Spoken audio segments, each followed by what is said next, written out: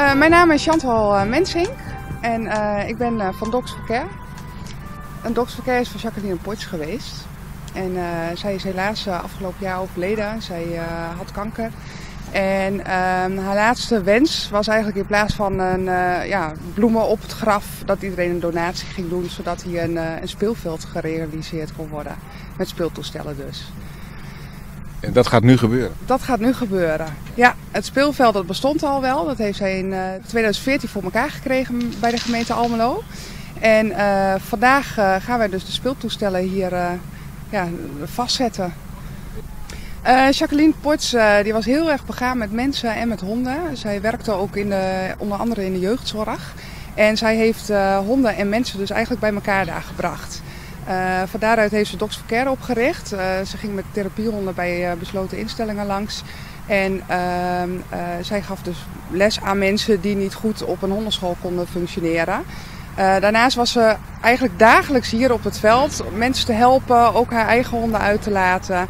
En ehm, ja, haar grote wens was dat mensen hier lekker met hun honden bezig kunnen zijn. Nou, vandaag worden hier uh, speeltoestellen neergezet. Uh, deze worden helemaal verankerd in de grond, zodat die niet zomaar meegenomen kunnen worden. En uh, ja, speeltoestellen kun je denken aan, aan een tunnel waar honden doorheen kunnen lopen. Ehm, een kattenloop waar honden overheen kunnen, een wipwapje, slalompaaltjes en een paar autobanden waar ze doorheen kunnen springen. Nou, deze komen hier omdat het Jacqueline haar grote wens was dat hier speeltoestellen kwamen. dit heet ook het Jacquelineveld, dat hebben we naar haar vernoemd. En uh, ja, ze wilden dus dat honden hier lekker uh, met hun baasjes bezig konden zijn tijdens een uh, uitlaatuurtje.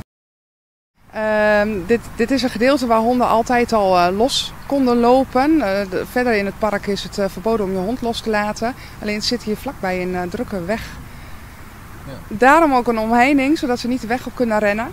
En uh, honden kunnen dan even lekker los. Uh, sommige honden kunnen niet los, die lopen weg. Of het stikt hier van de konijnen. Ik weet niet of u dat gezien heeft net. Uh, 200 konijnen ongeveer. En hier kunnen ze veilig los.